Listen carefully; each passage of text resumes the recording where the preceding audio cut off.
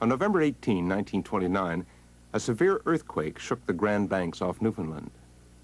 Thirteen international telegraph cables were torn apart. At that time, the cable breaks were attributed to the earthquake. However, a study of these breaks by Dr. Bruce Heezen of the Lamont Doherty Geological Observatory revealed a different cause. After this earthquake, 13 submarine cables that linked the United States with Europe were broken.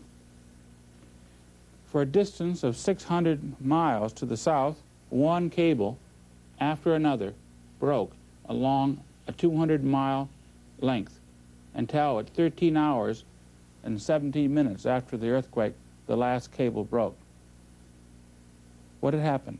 It was our hypothesis the same thing had happened in 1929 to produce these sand beds, namely a suspension of mud and water known as a turbidity current, which flowed at tremendous velocities downslope, carrying down these big loads of sediment. But how to prove it? Well, the obvious way was to find if similar deposits were found south of the Grand Banks as we had already found in the Hudson Canyon. So a couple years later, we were able to get a ship and go out and take a core, series of cores, in fact, of which this is representative.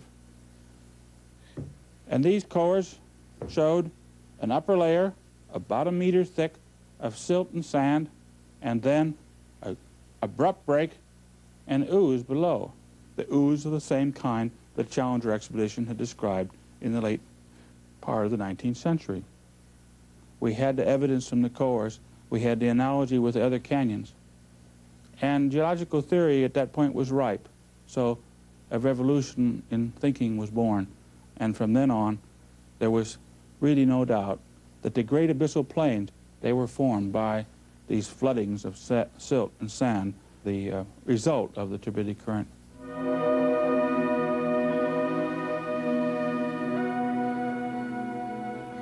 Turbidity currents can roll on for hundreds of miles, spreading out thick new layers of sediment as they lose momentum.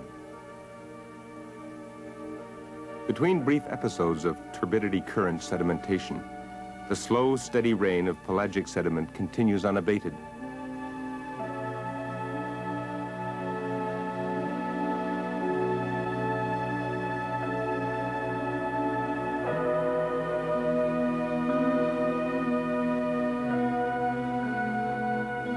This immense wedge of sediment at the foot of the slope is the continental rise,